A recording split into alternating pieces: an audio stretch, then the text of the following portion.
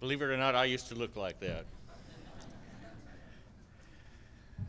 Uh, Scott Giberson was actually appointed to, uh, by the Surgeon General of the United States to be the Chief Pharmacy Officer in March of uh, 2010. I got a call from someone at that point says, guess who's the next Chief Pharmacy Officer? I said, who? And they said, Scott Giberson. I said, you're kidding me. that office is not big enough for that boy. And I knew that there was a lot of people that were out there that were actually um, hoping that they'd get appointed for this. Some of the ones that had been in when I am, they, they were older, and they said, but they got this young pup in there. I said, wow, their hands are going to be full. I can read to you the, briefly the list. Uh, he joined IHS in, in 1994, Indian Health Service. He served as a clinical pharmacist at about three stations. He served as a chief pharmacist at one. He became a senior public health advisor to the program, along as a senior medical program officer, acting division director, uh, he was detailed to the Department of Defense to do global health. He became an HIV AIDS expert. Um, he was a, uh, did, the list just goes on. I'm, I'm going to stop with that. But I'm going to go back to where I actually did know Scott. Now I'm going to back up a little bit. Back in the 70s, the Indian Health Service ran out of physicians. The Vietnam War was over. It was an obligatory service for physicians at that time. And so they decided they would take some pharmacists and create a, a practitioner, a pharma, we called it the Indian Health Service Pharmacist Practitioner. I was one of the early ones to get into that program. And so they, they figured it was a lot easier to take pharmacists and teach them some differential diagnosis than it was to take someone to teach them uh, medicine. So uh, we were, there was 81 of us that were total, I think, no, I'm sorry, 77 of us trained totally over the years. The program ended in 1981 um, when we did have enough physicians at the time. So then uh, I actually went on through several stations and, and, became the director of what was called the Clinical Pharmacy Training Program. And that's where I met Scott. It was probably about 1994. And I can't tell you any stories that the good stories about Scott because he's got plenty about me. So we're not going to go into that route. But Scott came in there and he said to me, he says, you're a practitioner. He says, I want to do that. And I said, well, Scott, the program ended in 1981. He says, No, I want to do that. How do I do it? Well, we had just recently created a new program in New Mexico called a pharmacist clinician. And with that particular program, several of us IHS people were grandfathered into that if we were licensed in the state of New Mexico uh, as, as practitioners. And so I actually hold license number five for that, that program. And then I come to Tennessee and can't do anything, but that's neither here nor there. But the, uh, Scott went through the program. He uh, got licensed in New Mexico. He did the required training they had and became a, a clinician. And as a clinician, he was he works in a family medicine clinic uh, in on the Navajo reservation, and has kept that up throughout the years. But Scott has always been the kind of guy that says, "I'm going to do something." And I knew when he became the, the chief pharmacist uh, he was going to do something with that office. And I can tell you that there's been many people before him that have done nothing. And so uh, the big thing that he did is he wrote a paper. And, and actually, the Surgeon General gets a lot of credit for it. But actually, Scott wrote this. And I will tell you that a couple of other people helped him write it.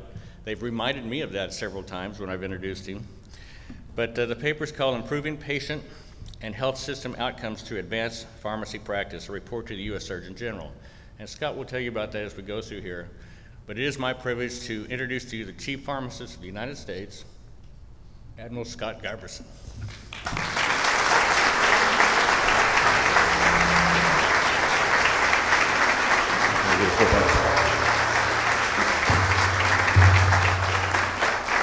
No dancing from me.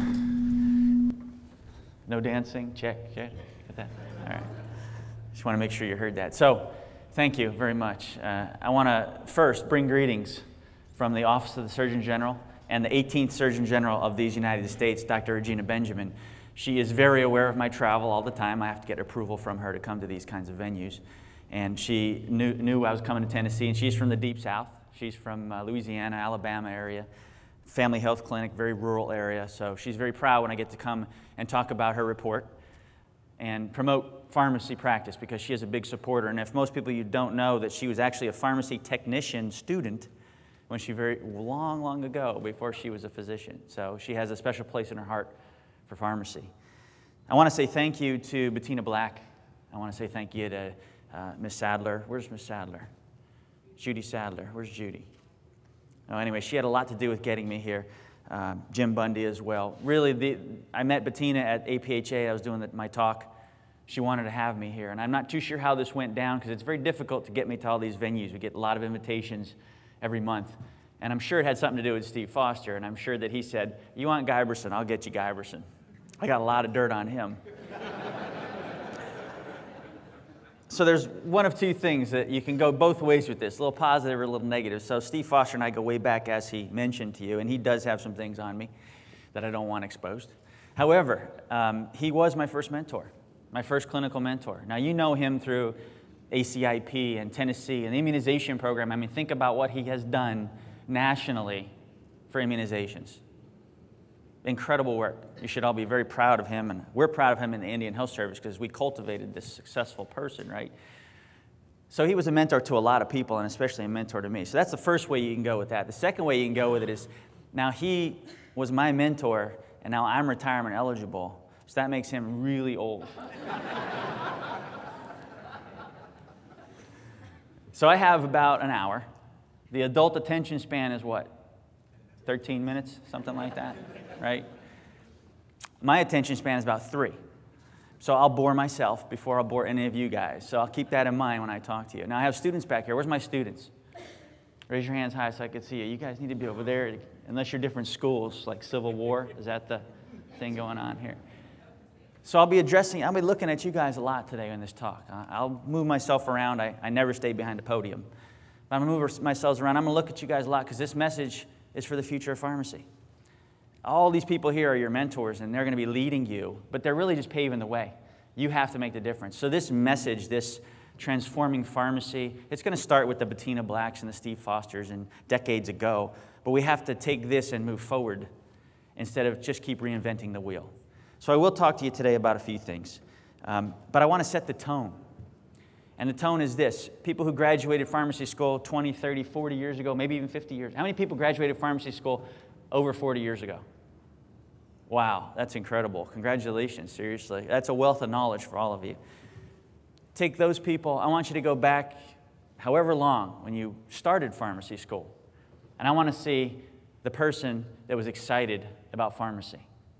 I want to talk today for the next 45, 50 minutes to the person who knew that they had the world in the palm of their hands, opportunity at their fingertips. That's the person I want in this room. I don't want to talk to the naysayers or the ones that complicate things with all different reasons why we can't do something. We're going to do something by the end of this talk. We're going to commit to doing something. Now, I have a responsibility as well. My responsibility is to not let these guys down because they went through all this trouble to get me here, but it's also to have impact. This is the best part of my job. Believe me, working in Washington, it's not always kicks and giggles, you know. Traffic and politics and money and no money, right? We'll have a car wash out there to support the U.S. Public Health Service afterwards. I sell pictures, $49.95 package. It's a special. I don't really do that. I'm just kidding. Anyway, so I want that person in that room today. I want to talk to you guys today, and I want to inspire you. I want to make you commit to something, and I'm going to charge you with some things. And I'm going to be challenging. I'm going to challenge the students. I'm going to challenge the faculty. I'm going to challenge the state board. I'm going to challenge the way you used to think about things to think just a little bit differently. Now, y'all have a good start in Tennessee because I know you're very progressive here. And I've spoken with Baeteena and I know Steve. So I know you're almost there. So let's keep it going. So we're going to talk about the report, right? The pharmacy report to the Surgeon General was a, sort of a big hit, went viral, had a lot of good positive feedback about that. But the report's just a tool. It reflects the actions that all of you do. And we just reduced it to paper. And yes, it was based on my experiences, and yes, it was based on some of the previous, my predecessors, but you have to use that and do something with it. The other thing we'll talk about is the needs of the healthcare system. Always match the needs with your capacity and use evidence to prove it. We're going to facilitate partnerships today. So if you don't have the best relationship with, say, your medical association or maybe the state board and the Tennessee Pharmacy Association, whatever it may be, We're going to improve those partnerships. We're going to talk about a call to action. And I'll, like I said, I'll challenge you throughout this talk to make sure that we can set some identifiable and measurable actions after this. So, what was my report, or, uh, you know, what was the motive behind the report? The motive, people think, was to advance the profession. That really wasn't the motive. So, in my other hat, my day to day hat is not the chief professional officer. That's my collateral duty. My other hat is I run the corps 6,600 healthcare professionals, 12 different disciplines pharmacists, dentists, doctors, nurses, veterinarians, environmental health, engineers, all of them combined. That's my responsibility. And I get to see all the different categories and see their health professions and see who's utilized the most in the healthcare system and where's the gaps. And I can tell you from looking at all of them and comparing them to their private sector colleagues that by far, pharmacists are the most underutilized healthcare professional in the United States. Given your level of education, given your training, given your practice environment, you're underutilized. So when I look at all those things, my, patient, my motive wasn't really for pharmacy in general, it was to improve patient care. So it was patients, it was health, the healthcare system. I have the benefit of wearing this uniform to say I could sort of think about politics secondary, and I think about what makes the most sense, what's evidence based, what's logical, and move forward with that. So the goals were to improve patient and health system outcomes, and of course, you get an ancillary effect from that, and that's hopefully to improve the profession, move the profession forward and advance it. We have to have a mission. So, as a chief professional officer, my mission was to advance the health of the nation, but advance the profession as well. I'm going to talk to the students now. I'm going to come down and make this a little bit more direct to the students. You have to start with some tenet or tenets, plural, to say, I have a platform to build upon. And I'm telling you right now, forget what everybody else says. Forget what's not in the Social Security Act. Forget what you think you are trying to fight for. You are healthcare providers. When you graduate from pharmacy school, you will take care of patients and provide direct patient care. That means you are healthcare providers. You are also public health professionals. Last I checked, pharmacists did immunizations. Steve Foster. That's preventive health care. That's public health. Last I checked, we do disaster management. Last I checked, we're epidemiologists. We're in every pharmacy in every city across the country. We see health. We see the flu come on. We see different trends of health, maybe obesity trends or infectious disease trends. So we have that in our nature, and it's part of our practice. So we're public health professionals. Those two things, don't let anybody tell you differently. I don't care what's on paper, I don't care what's in the law or the regulation. That's who you are. And last, we have a common practice. It's our fault that we have a common practice and not common law. It's much like common law, though. Think about it in the legal aspects. Common law is not always in the books, it's a way decisions were made based on previous court cases. Well, on previous pharmacy cases and in previous pharmacy practice, we could show evidence that, yes, we are these healthcare providers, right? The physicians actually come to us and ask us for assistance in patient care. We do provide patient care. And it's not always the, the myth is, you know, they come to us, they hand us a stable hypertensive patient. Everything's just fine and they'll, they allow us to take care of a patient. We know that's not true. We get unstable conditions because it's very difficult to manage patients with dyslipidemia, diabetes, and hypertension all at the same time. And that's the most of our patients obesity, metabolic syndrome, all those different things. I have a lot of visuals in my talk because I like visuals and visuals lasting memory, right? Some of the things that, uh, some of the things that I'll, I'll talk about today, you'll probably forget, and that's okay. If you remember some of the pictures, it'll paint the image that you need to remember some of the concepts and points. So, without dating anyone, anybody know what year this is?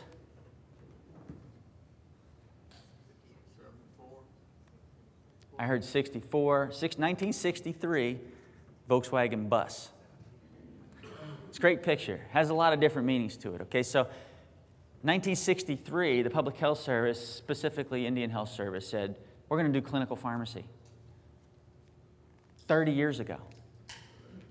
Not 1999, not 2002 Medicare Modernization Acts, not 2009 MTM, none of that stuff. 1963. And the VA came on board, and the Department of Defense, and federal pharmacy, and some big organizations did clinical pharmacy. And funny, it said, box yourself in. I didn't put that there, that came with the picture. But I think very appropriate because that was exactly what we did not do. Did not box ourselves in. Said we are needed in clinical practice, so we need to take care of patients. Interesting. Interesting. 1963. So that brings to mind another picture. I have lots of pictures, lots of animals too. I like animals.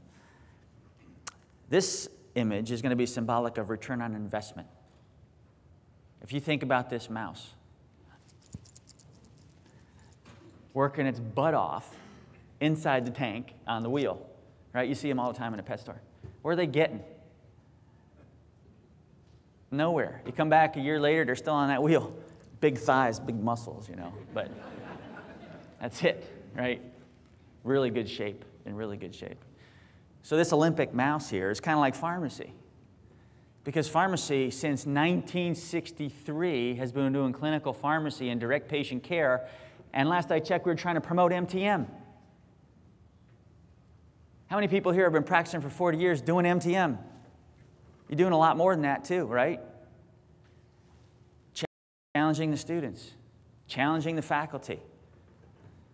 You'll hear it throughout the talk. Nothing wrong with MTM. That's just a piece of what we do. And we've reduced it to an acronym. Bad on us. So think about 30 years of practice, starting with clinical pharmacy in 1963. Think about the amount of training we have that keeps going up. Think about the privileges we have, which pretty much remain the same. And I'll challenge to say that we have not gotten the return on investment that we need. And that's nobody else's fault. It's our own fault as a profession. So, the pharmacy report has a few main themes. First theme is that we're integrated as healthcare professionals. So, no matter when I meet with physicians, or if I meet with the American Medical Association, or if I meet with whomever I meet with, I say we're already there. We're already integrated in many health systems, depending on what you look at and what practice you have. We provide patient care. And if you look at definitions, find the American Academy of Family Physicians definition of primary care. Find the Institutes of Medicine definition of primary care. Primary care now. With the exception of diagnosis, we provide all the services of primary care. So, does that mean we're not primary care providers? Well, let me ask you this. After a physician diagnoses a patient with diabetes type 2, how many times do they re diagnose that patient with type 2 diabetes? But yet, they're still primary care providers because they do, in fact, provide primary care. They reassess, they provide follow up care, continuity of care. They're the patient's main point of contact. Well, we do that as well. You've all done it. So, using their own definitions, we satisfy the requirements for being a primary care provider. Recognition as healthcare providers is the next step. So, the second and third point, you have to put it in a report because it's our, it's our barrier. Our barriers are recognition and compensation. It's not that we want a pat on the back. It's that we know that our services are needed by patients. Our services are needed by the health system. And if you take the politics out of it, it is the only evidence based model that has not been implemented to help the healthcare system out yet. It's innovative, it's already there, it's been in existence for 30 years, and we're not using it. Why? Lots of reasons why. One of them, two of them are right here recognition. So we educate very well. Last I checked, we're the second most educated healthcare professional in the United States. There's physicians. Who comes after that? Us, right? And nurse practitioners and PAs are great. Dentists, great. They all do their thing, and they all have great privileges. We somehow continue to add on to our education and get no ROI. So the efficiency exists. Believe in yourselves that you can do this. We're a testament to that. I came out with a bachelor's degree, five years of pharmacy school. Well, three, three years of professional school, actually, because I came with a degree before that. And we practiced in the right environment, and we were just as clinical as any other healthcare provider, because that's about how long they went to school, too. No different. I don't know how health reform is going to evolve. Matter of fact, I'm not even allowed to talk about health reform because I don't, I'm not in the high echelons of health leadership in the department. However, I can tell you this I don't care how it evolves. If you're not on the roster, you're not going to play in the game. Pharmacists are often like the water boy. I hate to say that, but we are. We're in the dugout and we're just right there and we talk to all the players and we give them water, but we don't get to get out in the field. We don't get to get paid for our job. We don't get to do the services that they get to do, the privileges. We have to be on that roster to play in the game. And I don't care how health reform revolves. Somebody actually came up and said to me, Well, it's going to be team based care, so it really doesn't matter you know, if we're not named as healthcare providers in the Social Security Act. That's what we think. But when it comes down to legal issues, when it comes down to compensation, when it comes down to all the other alibis as to why we can't provide patient care, it's because we're not on the roster. So get on that roster. Make that a primary goal. And I know all the states have sort of rallied around this cause to be named a healthcare provider. You need to be on that. So you don't give anybody else the ability to use that as an alibi and say, well, you're not even a healthcare provider. Clinical psychologists, dietitians, clinical social workers, healthcare providers in the Social Security Act. It's okay. They're great providers, but so are we. If you think we don't provide direct patient care and they do more of it than we do, then there's something wrong with our profession. Legislative history. We've done a wonderful job being as detailed as we are. That was a politically correct way of saying we're anal. as detailed as we are, we've done a wonderful job of confusing the heck out of all the politicians. We've put all kinds of terms in there. We, we come up with all kinds of acronyms, and we put such detail in the bills that go to Congress that they get confused about what the heck we do in the first place. So we have to simplify the way we do things. Stick to one thing. We're going to be called healthcare providers. Here's why. That's it. We've had different states put in different bills. They put diagnosis on the bill. Pharmacists are allowed to do diagnosis. Everything was okay with the bill until you stuck that word in there, right? That's a red flag. Don't worry about that. Don't worry about independent prescribing authority. That comes with privileges, that comes at the local level. I could have a license and a PA. I'm not going to practice in a facility unless I get privileges at that facility. So it doesn't matter that the fact that my licensure says my state scope practice should be broad. So our legislative history has confused some people at Congress, and we're not doing ourselves justice by continually confusing and changing and adding different things here and there, and different states propose different things. I'm a New Mexico clinician. And New Mexico put in a bill, and everything was fine except they used the model only from their state. And it confused the legislators and said, wait a minute, so you need a, sep- a second license to do the job you're doing now as a pharmacist? Now, it did get some return on investment in New Mexico. We got to be Medicaid providers, which is great. We get compensated. If I thought that would work across all the states, I'd say go ahead and do that. That's fine. But I'm not sure it will. And we really don't need that. We do that scope anyways through collaborative practice agreements. Compensation, I sort of mentioned that already. We don't know how reform is going to evolve. Is it going to be paid for performance? Is it going to be fee for service? Is it going to be a team based capitated payment? I don't know. But you can't do services for free. And we have to separate it from the product. Here's another little problem with MTM. Indirectly, you're tying yourselves right back to the product again. Medication therapy management. It is a service we provide, but it ties you right back to the product. It even says it in the name. You provide patient care. Finally, evidence based outcomes. So the report includes evidence based outcomes, tons of them. We've had outcomes for 30 years, 40 years. It's a positive thing that we have outcomes. We reduced it to paper, we consolidated all the evidence, and we said, here you go. And you know what? To this day, that, provide, that paper, that report provides a tool and an advocacy piece that nothing else is against it. There's no other document out there that says this pharmacy paradigm of care, where pharmacists provide health care and primary care to patients, doesn't work. There's nothing out there that says it doesn't work. So why can't we lobby this? The government, us, we ask for a cost effective healthcare delivery model that utilizes the things that we already have in place so it doesn't cost much money, that utilizes our health professionals to the maximum of their licensure and education. It's right in front of them. We already have it, already done. And we have the evidence to prove it, and there's no evidence against it. And we can't get that done. Now, I can't lobby on the Hill, it's illegal. Because I wear the uniform. You all can do the work because you're doing it anyway. Just keep doing it. Use these tools. Use this consistent message when you go to talk to your legislators and congressmen. We'll make a difference. So, whenever you write a report, whenever you publish, my mentors always taught me this ask the question, so what? So I wrote a report, big deal. Right? So I did another study on INRs. What difference does it make? Here's the difference that we think the report has made so far it moves us past the habit of trying to prove that this model works. The model works. We've got plenty of evidence that says the model works. We don't really need another study that says, hey, you know what? If you allow the pharmacist to monitor Coumadin, then I bet you we'll keep the INR in good range a longer period of time. We could have the 57th study that says that. We know it works. We know we're good at it. So I'll challenge the students if you want to do some research, use a business model. Find a business model to approach with your staff. Find administrative outcomes. What saves the doctor the most time? What shifts the doctor's workload to see more critical patients? Don't tell me that you can manage Coumadin and do INRs. I know that. We all know that. And that's good stuff because you need to do that. That's performance. Measure your performance when you're doing it.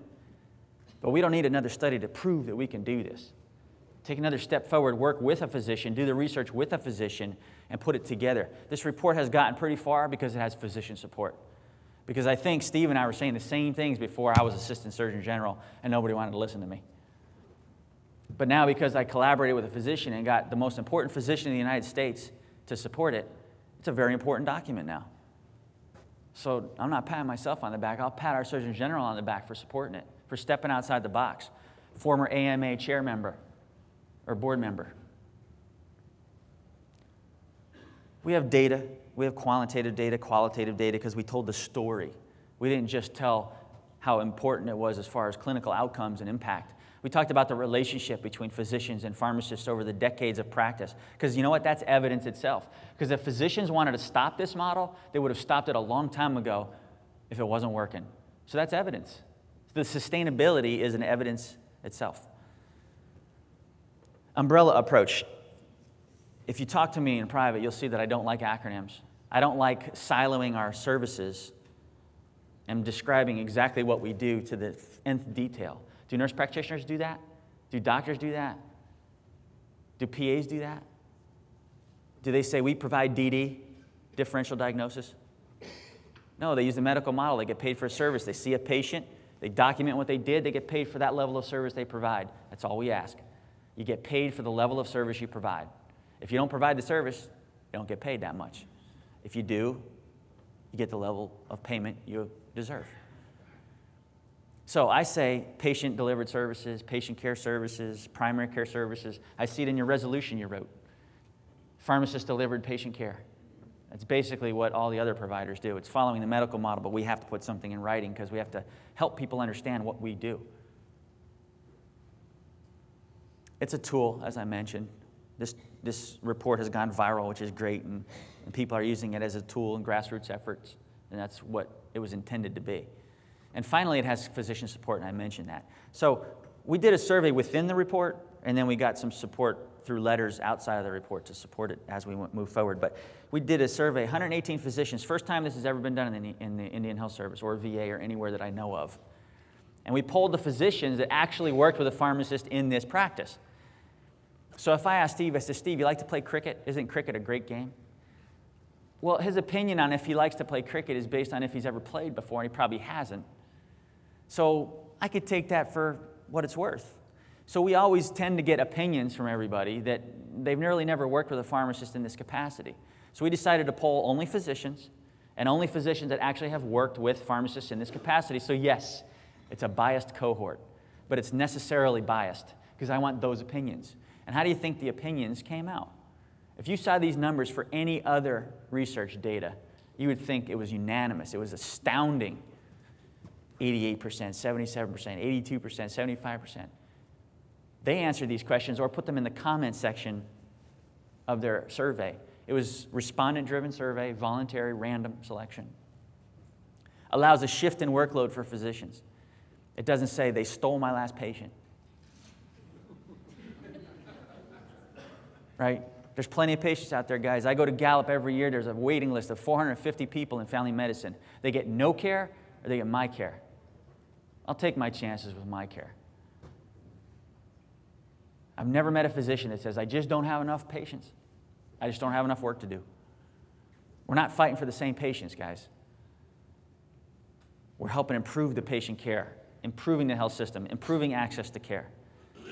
And you can see some of those things. So, overall, we had a 96% of the providers who responded reported overall benefit. Take that to your legislators and congressmen. These are physicians speaking, not pharmacists. So we have one of the most important physicians in the United States, Dr. Regina Benjamin, our admiral and U.S. Surgeon General. And she said two main things. She said, Yes, you know what? This provides me enough evidence to say I, I think that this model works. I support this model where pharmacists collaborate with physicians and you guys are allowed to expand your scope. And two, I know you're healthcare providers. Actually, her argument to me was even a step further than that. She said, You're actually experts, not just healthcare providers. Because, you know, you could say that a physician is, an, is a healthcare provider and has expertise in critical care, differential diagnosis, initial diagnosis. Similarly, with a nurse practitioner, PA. But we're, we're experts in chronic disease, in managing medications to help move the disease along, reduce complications, prevent further disease. And we didn't just get her involved, we got other people involved that not, were outside of the federal service. Right underneath her is Dr. Mark Loafman. How many people here have heard of the HRSA's PSPC program? It's a big private public sector collaboration where pharmacists and physicians work together in the private sector with the federal government folks and, and they do disease management. And there's 270 some sites across the country and it's working. And he's a physician. He's a professor at Northwestern University. So he's an academician that sees the value. He wrote a three page letter on his own to support the report. And there's other people here. The top female in, um, in the middle there, she's American Indian. She's the chief medical officer of the Indian Health Service.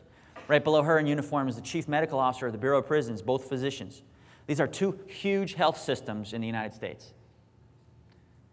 There's the VA, there's the Indian Health Service, Bureau of Prisons, three big health systems. They all utilize pharmacists in these roles, and we all know that. It must be working. And the other two are private sector physicians. Top right, Hershey Bell, Dean of a pharmacy school, physician.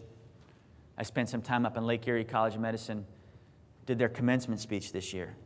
And he was just so excited about the report and so excited about the fact that he knows how valuable pharmacists are. So those people are out there. So I'll challenge you to meet a physician that supports it and get them to write an article with you. Don't write it on your own and put it in a pharmacy magazine. Write it with a physician and put it in a medical magazine or publication. So, the age old battle of turf. Turf. Don't precipitate the turf problem. There's always going to be some turf issues. Always. Do you think nurse practitioners went through unscathed? as they approached the AMA and they said, We want prescribing rights or we want to be able to see patients? No. There's 20% of the people, you'll never change their opinion, ever. There's 20% that are already on board. I want to work on that middle 60. You take that middle 60% and you start to convert them, we've got a home run. Work on those people. Don't precipitate the, just assume that there's going to be some turf issues and that's okay. We can't be perfect. Pharmacists like to be perfect. Don't worry about it. Move forward. And the second thing, of course, is the almighty dollar. And the almighty dollar does make a difference. But you can show through administrative outcomes that you can actually generate revenue for a facility, whether it be a health system, a clinic, a doctor's office, maybe a collaboration of physicians. In certain states where we actually bill for Medicaid, and there's a few of them, pharmacists can generate revenue for the health system, for, and they may not be getting it. It may not be like an independent pharmacist doing it, but a, a, a salaried pharmacist working to get generate revenue.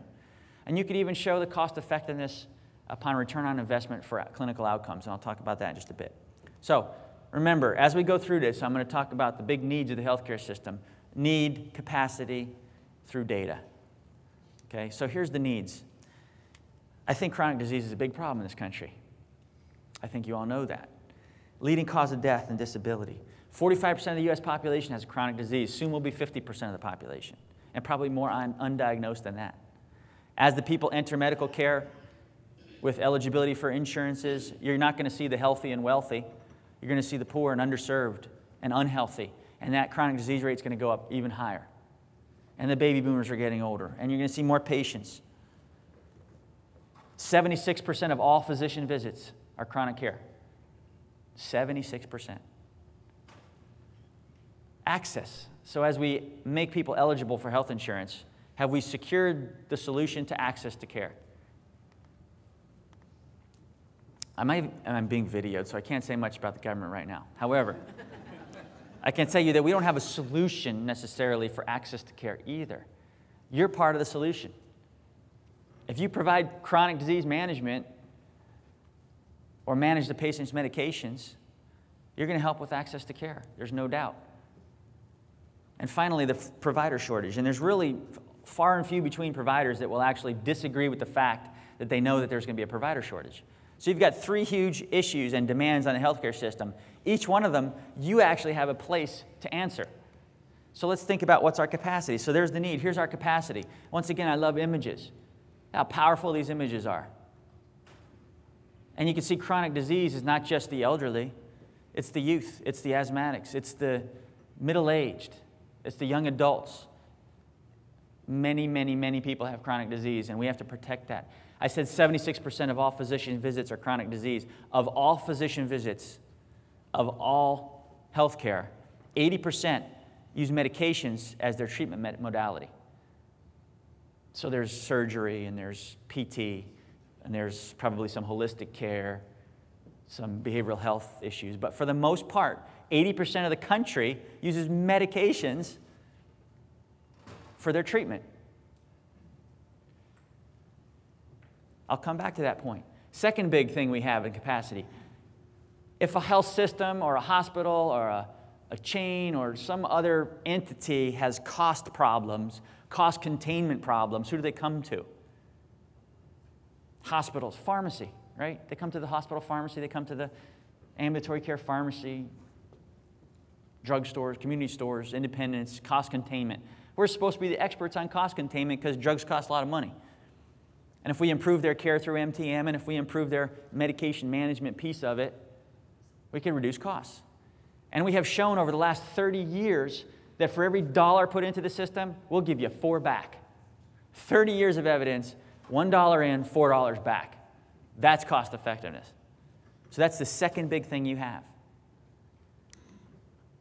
And then speaking about access to care, and here's my plug for community pharmacy and for independent pharmacy too, because I think there's a huge place for independent pharmacy in the future if we can get that little piece about compensation worked out.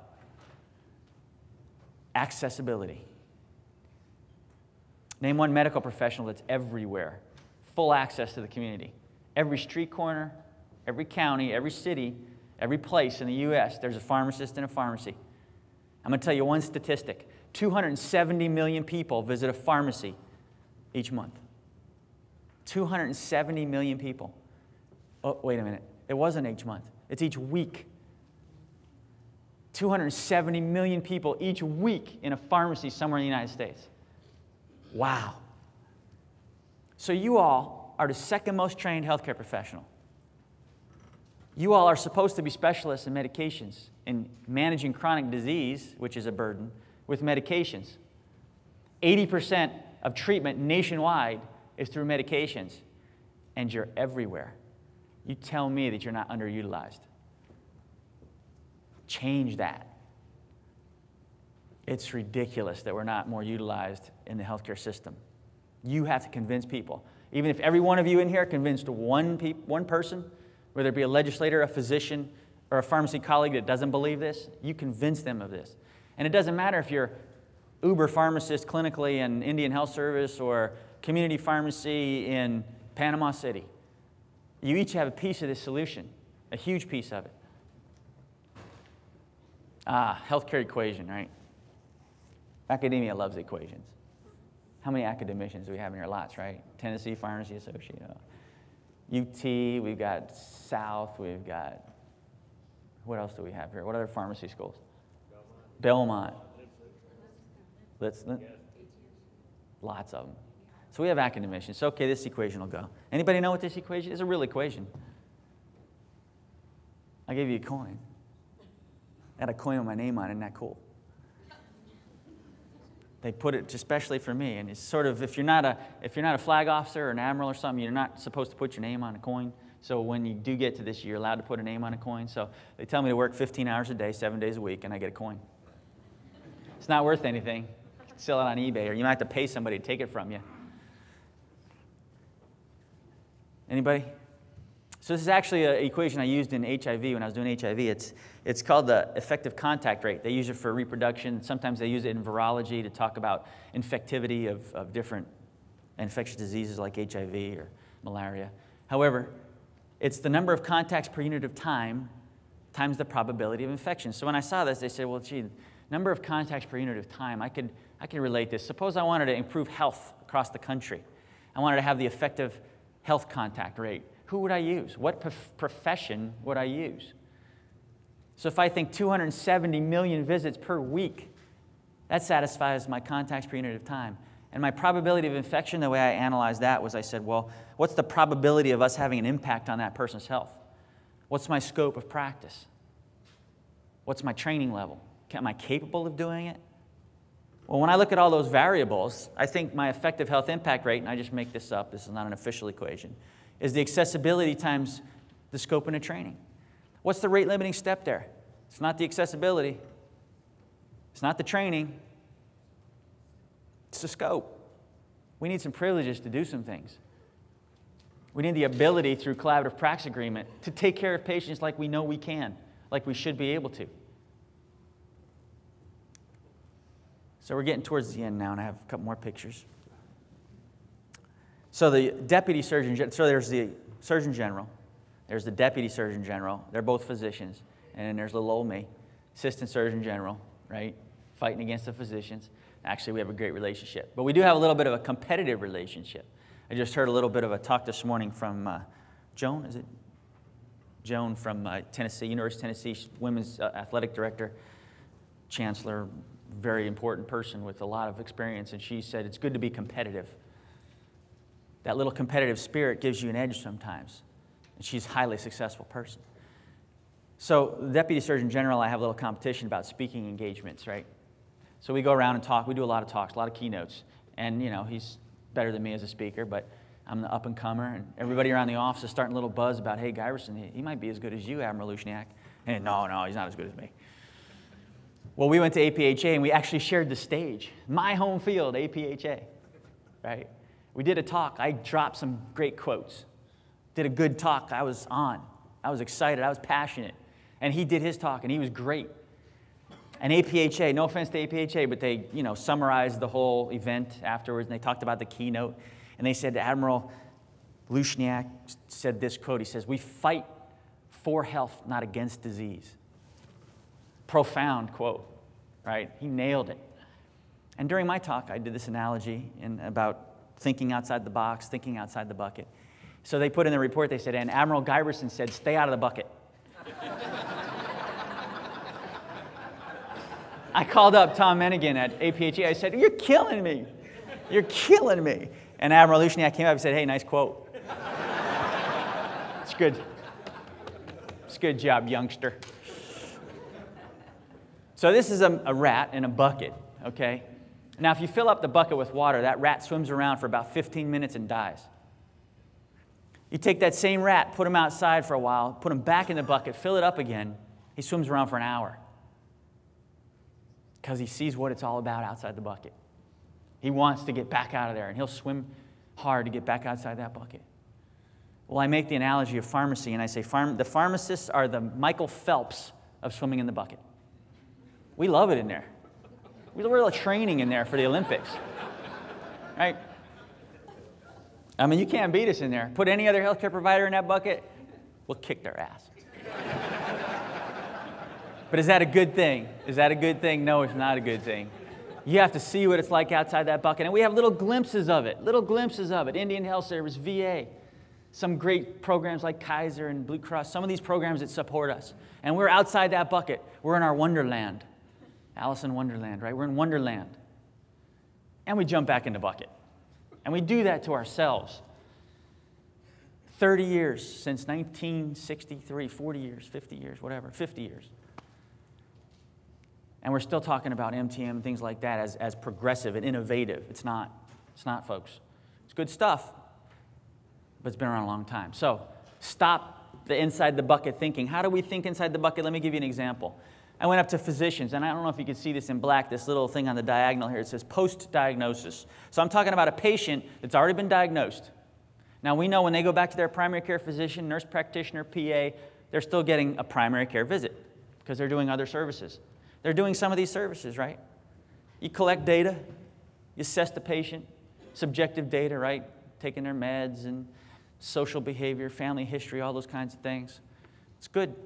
You guys do that? How many people have done that, right? Raise your hands, come on. All right, good. How about counseling? Y'all counsel, public health, immunizations? Keep the hands up, come on. All right, stay right there with me. Adherence, you talk about adherence? Do some med reconciliation, all that stuff, right?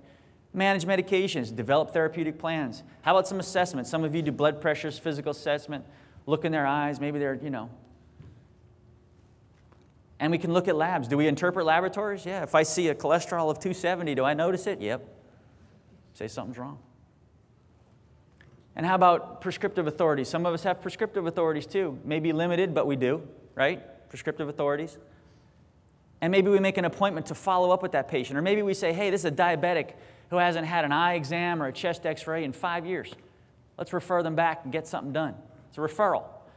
Continuity of care, follow up care, all these things. Ask a physician what that is.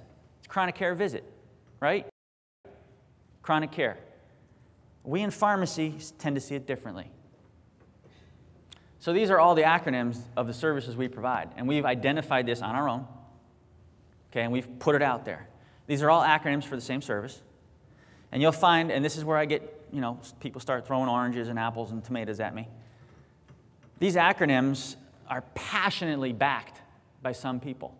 That's okay. There are certain services that we all provide. It's a common denominator. Every pharmacist everywhere can provide these services. That's great. Medication therapy management.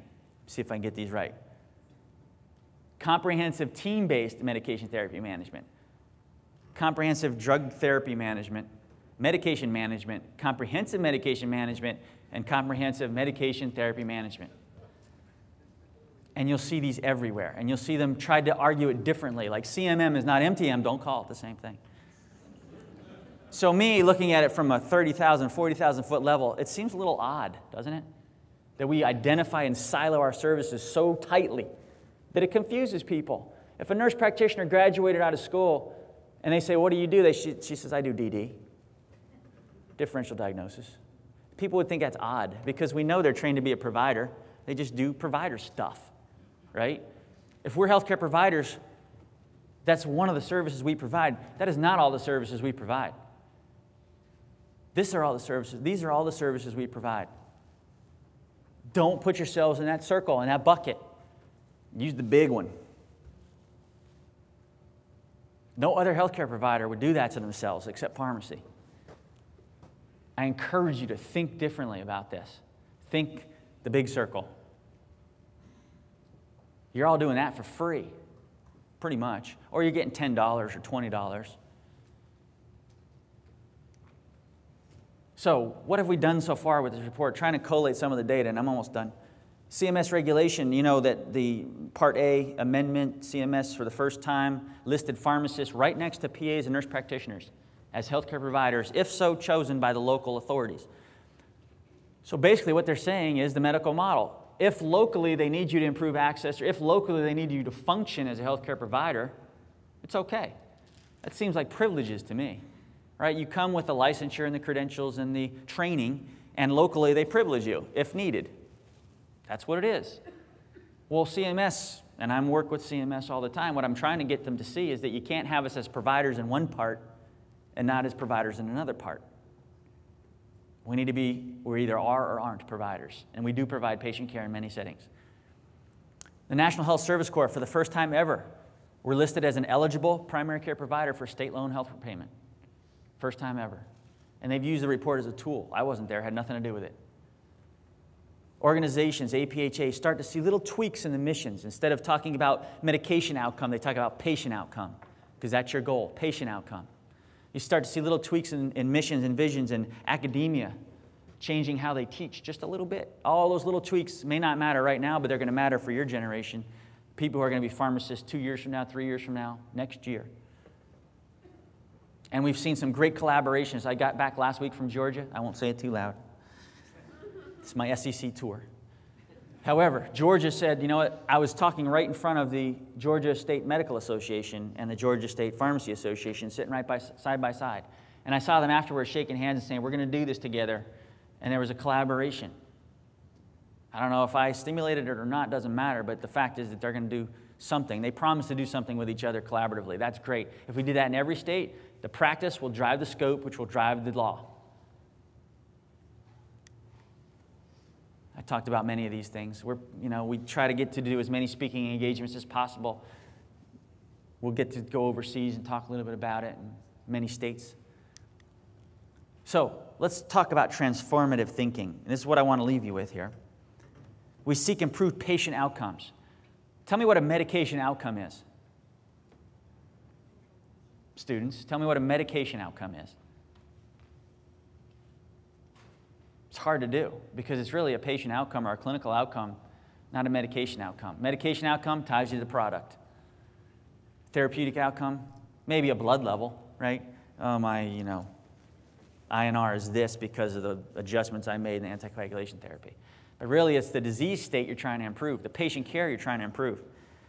This is a big one. We're healthcare providers that manage disease with our expertise in medication use. Yes, you manage disease, but do you just, or yes, you manage the meds, but do you just manage, can you manage the meds without the patient?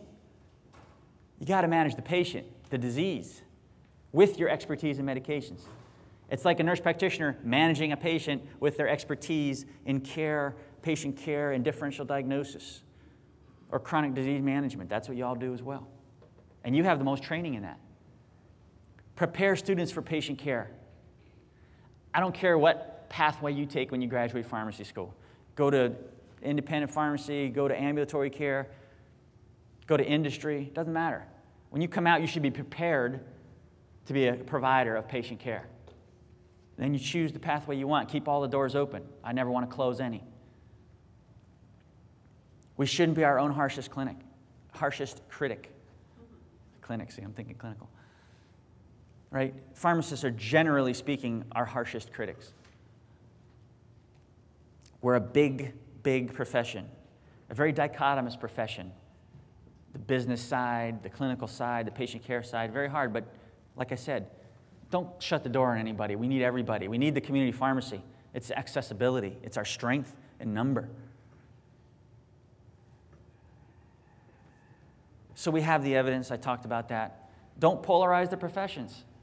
We collaborate. We don't seek independent authority. We seek some autonomy in what we do, some cognitive decision making, because we take care of patients. But we don't seek independence. We're one of those professions that's willing to be collaborative, sometimes too much so. We hurt ourselves by wanting to be so collaborative, and then somebody says no, and we're like, oh, okay. And don't limit the wonderful minds. And students can clap because you guys are wonderful minds. If Steve Foster limited my wonderful mind 20 years ago, I wouldn't be here today. But not only did he not limit my wonderful mind, he kicked me in the butt and said, Go, do it. Do what you want to do. I know you can do it. So I'm telling you, you can do it. Call to action. Partner, right now, today, make a commitment to do one thing. If everybody in here did one thing in the next year or two, we'd have a huge difference across the United States. Make one partnership. That's just an example. Change one thing in the State Collaborative Practice Act. Change one thing in legislation. Change one thing in a local relationship with a physician. Have them support something. Reduce it to paper. Document. Move forward. So, leveraging new tools, collaborate. I talked about all these things. You know, we have enough time in education. We have the innovative models. Stay broad, don't get microscopic with your views. Think outside the box. So, when we think about our relationship with the physicians, we always have to set a goal. What's our goal? Is the physician the zebra? I don't know. Are we the lion pouncing on the prey? Is it predatorial relationship we have with physicians? Maybe some of them think so. Taking my patients. We're not taking their patients, and they know that. And I've never worked with a physician, like I said, that have mentioned that, so that's just a joke. Don't go back and say, Scott says we're preying on you, and we're going to take all your patients, and you don't like us. So we're not at this stage right now. We're well beyond that. Let's see what we got next here. Parasitism. Are we parasites? Leeched on the back of the physician? They're just crawling along just fine, and we're sucking the blood out of them, sucking the life out of them. Annoying, pain in the butt, right? No, we're not that either. So now we're getting a little closer, okay? And this is a philosophy that's thrown out with turf issues, okay? So we'll say the physician's the nice squirrel here, just trying to eat a nut. and we're little birds, annoying. It doesn't really affect the squirrel too much, but it's just annoying, you know? We're beyond that too, I think. And there's some philosophies that span the spectrum. Ah, we're getting a little closer now. This is commensalism. It's a type of symbiotic relationship. It doesn't benefit both partners, but it benefits one. Okay, so the egret gets food, eats the flies. The water buffalo, eh, you know, they might stir up some flies. They're really unaffected one way or the other. We're probably there in a lot of respects because we do a lot of good for the patients. Sometimes the health system doesn't realize it, but we do a lot of good for the patients. Sometimes third party payers like Blue Cross and Blue Shield realize the benefit. Sometimes third party payers don't know. It's not because they're against it, they're just ignorant of it. And I mean that in a good way. Where do we want to be? Everybody's relationship from the movie Finding Nemo, the clownfish and the sea anemone, pure mutualism, beneficial to both parties, both entities. That's where we want to be. Who benefits the most? Not either one of us, the patient, the ocean, the ocean of patience. So I like these analogies as I go through. So 2012, I'm telling you right now, make a commitment. Make one thing different. Right? We're in this wonderland. We've got the chance. We're outside the bucket now. Some of the report brought us outside the bucket. Some of our pioneers before us, like Steve Foster's and Baeteena Blacks and all these other people I met yesterday, have put us outside the bucket. Students, stay outside the bucket. Don't let the professors teach you the wrong way. Challenge them. Say, wait, wait, wait, this doesn't make any sense. Why do I have to go through five, six years of pharmacy school, then do a residency, then go out, then tell somebody I don't really know how to do MTM? You better know how to do MTM when you come out of school. I'll challenge Steve. He knows how to do it. He's been doing it for 50 years, maybe 70, who knows? right? When we bring out the IHS scribes and there's Steve Foster's signature, you know, etched in stone. So in 2000, so you can't do anything to me while I'm up here, right? 2012, make a difference this year. I'm gonna leave you with one thing. And I know you didn't see this at APHA because I didn't have it at APHA. How many people here have seen the movie The Matrix? The young students are like, who's The Matrix? It's a movie. So Morpheus was living outside the matrix. He was living outside the box. He was living in that wonderland. And he gave you a choice. And how appropriate two medications. You take the blue pill. Tomorrow, you wake up, same old.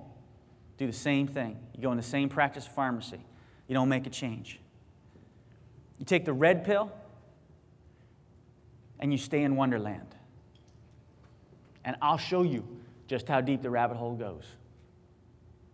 Thank you.